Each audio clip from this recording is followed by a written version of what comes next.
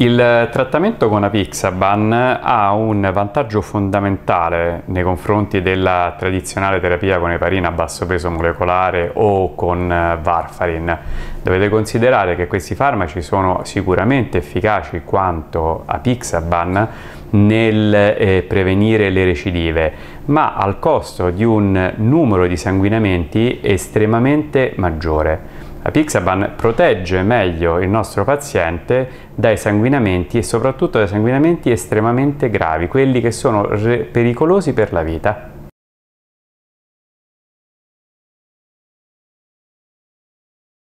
Nel momento in cui noi ci troviamo di fronte a un paziente dobbiamo fondamentalmente intervistarlo, sapere bene dal nostro paziente quali sono le sue caratteristiche. Il paziente che va incontro a una TEV, un primo episodio che è stato supportato da un evento che ragionevolmente ci spiega perché questa trombosi venosa profonda è avvenuta, dovrà fare una terapia breve, interromperla e dovrà considerarsi guarito. Nei pazienti in cui noi invece abbiamo dei fattori di rischio aggiuntivi, quali può essere la trombofilia, quali possono essere fattori acquisiti che aumentano il rischio di avere una trombosi venosa profonda recidivante, il trattamento deve essere esteso a sei mesi o anche in tempo, per un tempo indeterminato.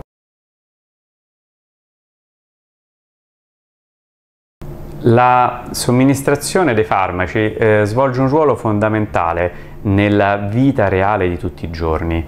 Somministrare un farmaco in doppia somministrazione ci permette di garantire una maggior compliance del nostro paziente. Nel momento in cui il paziente che nella vita reale potrebbe andare incontro per esempio a una dimenticanza, dimenticare la dose del mattino, comunque sia avrà una finestra in cui resterà potremmo dire scoperto dalla nostra terapia, estremamente ridotta in quanto nelle 12 ore successive avrà la possibilità di assumere una seconda dose di farmaco. Questo ci permetterà di avere una concentrazione plasmatica del farmaco che oscillerà in maniera meno importante rispetto a quello che potrebbe succedere con una monosomministrazione.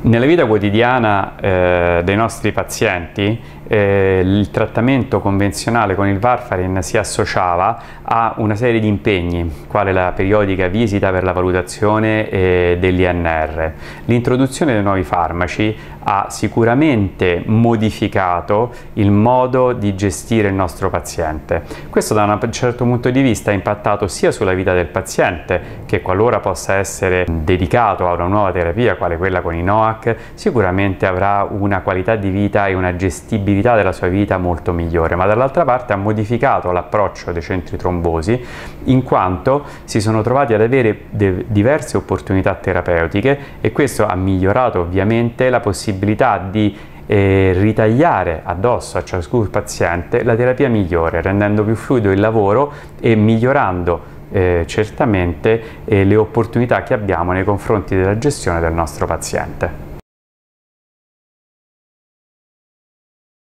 La mancanza di un antidoto viene spesso portata da alcuni nostri colleghi come un motivo di preoccupazione, ma questo in realtà è veramente da considerarsi un falso problema. Voi dovete considerare che anche con la terapia tradizionale, quella con il Varfarin, l'utilizzo del Conachion, che viene in qualche modo considerato un antidoto, non è quello che si può considerare un vero e proprio reverter. Noi sappiamo che l'infusione endovenosa di Conachion, nella migliore delle ipotesi, e necessiterà di un tempo medio tra le 3 e le 4 ore per revertire completamente l'efficacia di questa terapia. In una sala rossa tutti voi mi potete eh, confermare, non sono le 4 ore quelle che si ricercano, ma è un effetto istantaneo. Nel momento in cui noi abbiamo necessità di revertire in maniera rapida ed efficace il trattamento con Coumadin, esattamente come quello che noi abbiamo in questo momento con i nuovi farmaci, in sala rossa ci si affida ai concentrati